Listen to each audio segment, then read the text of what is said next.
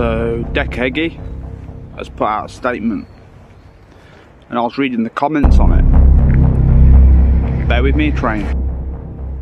And one of the comments said, you are only there because you have overstayed your visa. He is not there because he has overstayed his visa. He is at the Immigration Detention Centre because he is undesirable in the Philippines. Now, the Filipino immigration have blacklisted him due to his past S offence from all them years ago. That is why they've blacklisted him, because of that. He's an undesirable in their country. If it was for overstaying his visa, he would already be home. So that's that out of the way. Bear with me. What would it be like for DH in the detention centre right now? Well, let me tell you this. It's extremely hot in there. And extremely boring. Now I say this because when I was there, I was allowed my phone with me 24 7. And that was because it was very corrupt back then. It is still corrupt today, but it's a lot stricter. So now you're only allowed your phone for one hour a day. Some people will have their phones with them 24 7, but the only people that will have a phone with them 24 7 is those inmates that have been there years and years and years and are trusted enough to be able to keep their phones and not grass on immigration staff. Dec Heggie will not be a trusted inmate. If he was to stay there for more than six months, maybe he could do this. But new inmates will never ever be able to have their phones these days with them 24 7. So he will be extremely bored extremely bored. It's only a small place. And there is a pool table, but it's very difficult to get on there. Very difficult. Yeah, you might be able to play cards, dominoes, but if you haven't got a phone or a TV, then it's going to be very difficult to watch anything. And I think there is a TV in there, but the problem is you can't really hear the sound. And even if you could hear the sound, it's all in Tagalog. So somebody like DH would not be able to understand that language. So that's another thing. It would be so, so, so boring.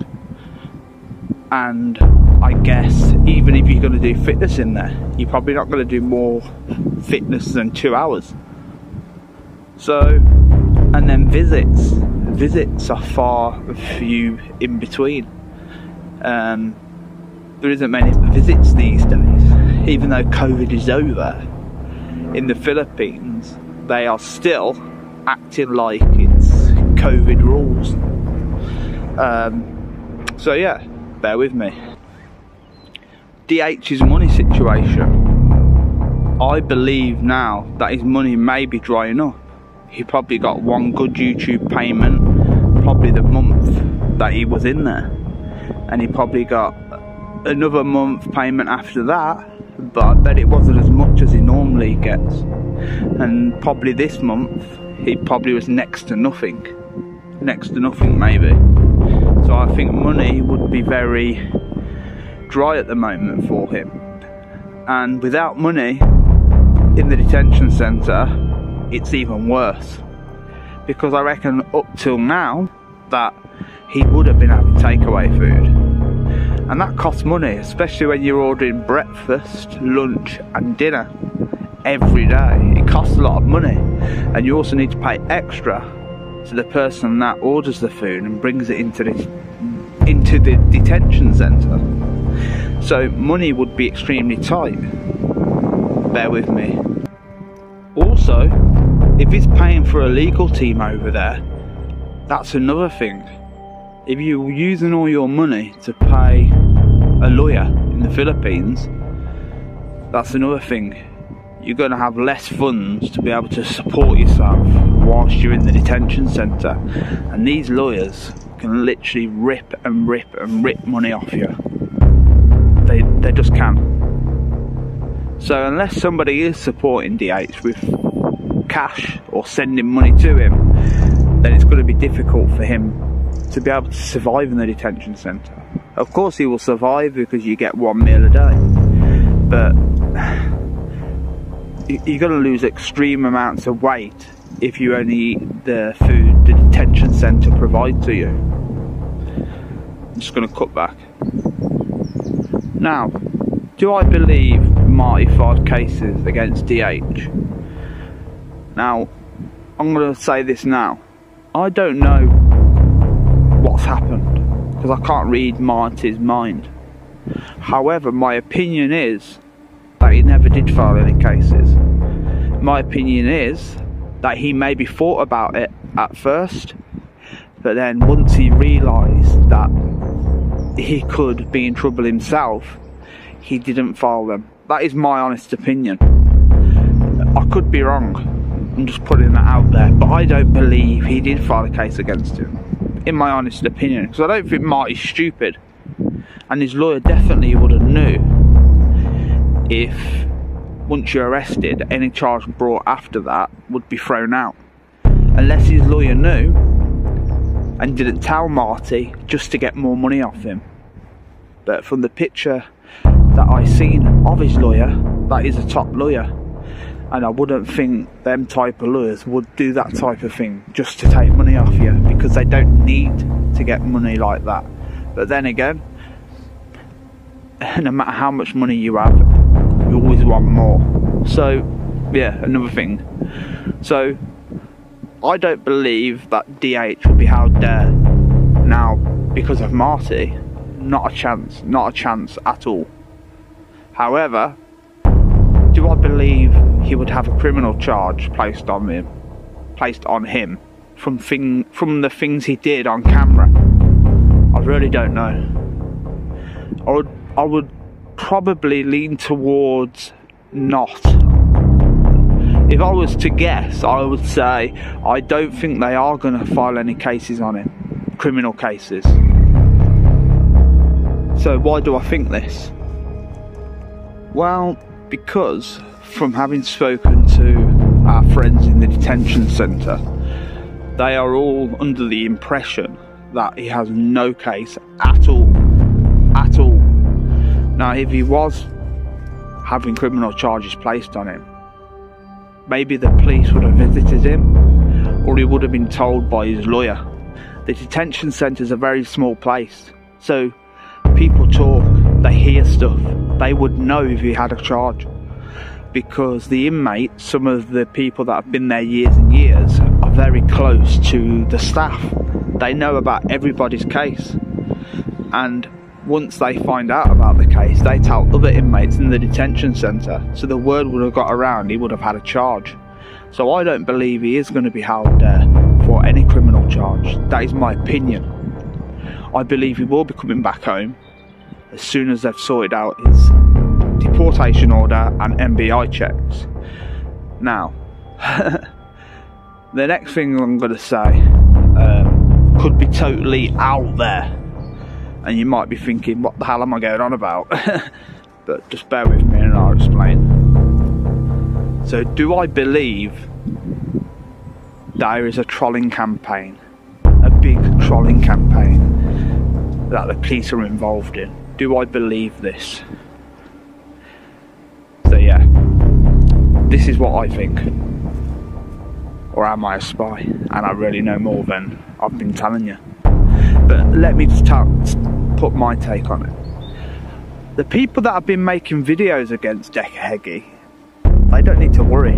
That's just YouTube and for entertainment. However, the people that have had physical contact or done malicious crimes in person, or anybody that's orchestrated these crimes, I do believe something is going on in the background.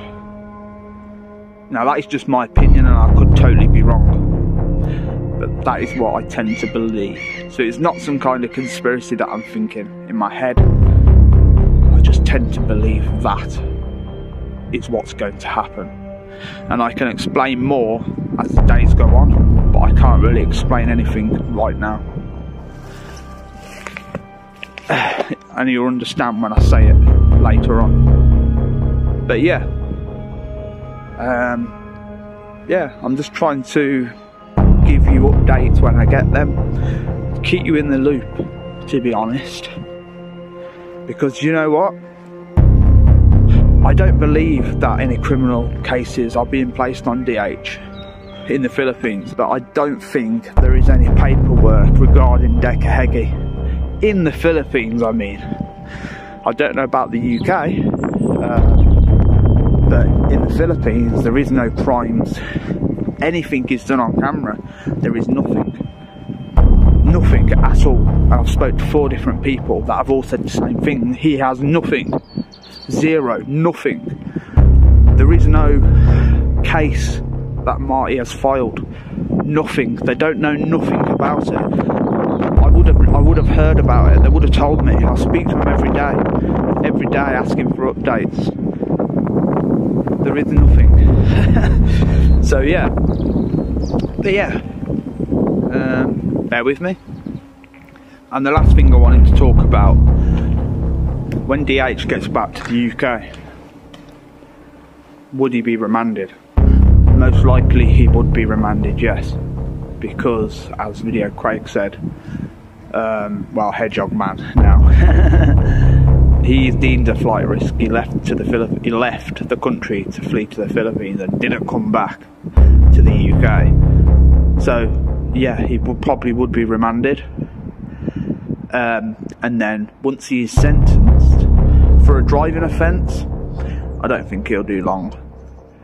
I think he may end up getting a suspended sentence, to be honest with you. Yeah, it's going to be severely aggravated because he's fled the country, but he's got mental health conditions, etc. He's been in a Filipino detention centre, so they'll probably put that into account. Some judges don't, but some judges will.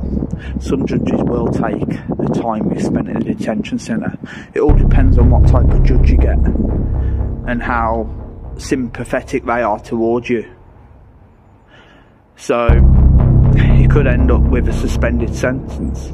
You see, these days, especially now since COVID, the government don't want to send people to prison unless they get over 12 months.